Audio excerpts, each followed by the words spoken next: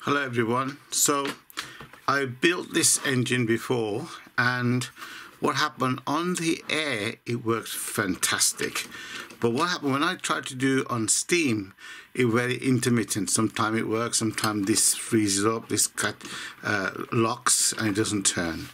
And I figured it out. I think anyway I figured it out.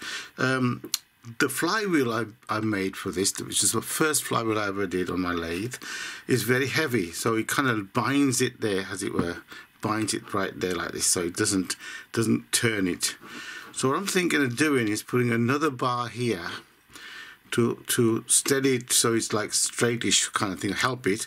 So when the flywheel uh, spins, it's got two places it can rest upon, so that it should, in theory, spin. So I'm going to try that and see if it works. This will be an update. Okay guys, so I'm speaking a bit loud in case you can't hear this. Um, I'm working on this off camera. This goes into there like that. So what I've done is I've drilled a hole. In theory it should be okay. And also I've drilled holes here and tapped them. Drill, drill holes here so that to be holding on to that.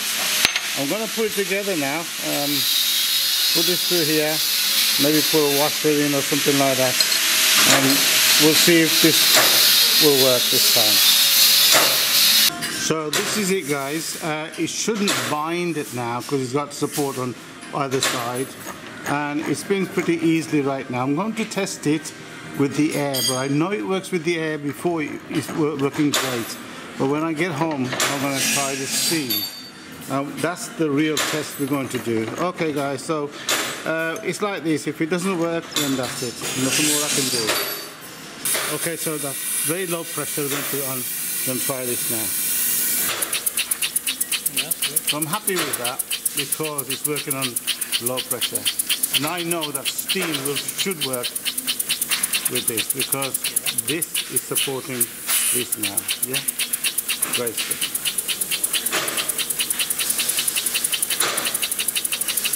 See, that's on low pressure and now it's speeding up. Fantastic. It's balancing itself out. So here we are guys, um, I've set this up, my little steamer thing, and there's the engine now. It should work very easy because it is, um, it is working uh, quite freely.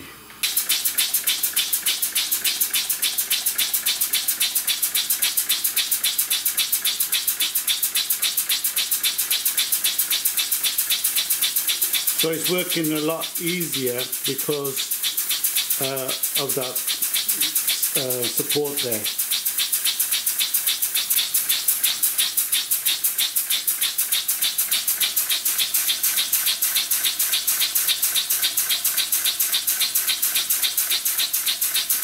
We're losing a lot of steam because obviously there's a, leakage